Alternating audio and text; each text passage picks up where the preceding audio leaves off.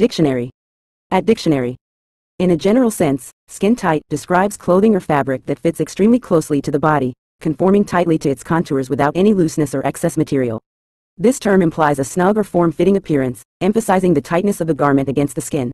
Skin-tight clothing is often designed to accentuate the body's shape and curves, providing a sleek and streamlined silhouette.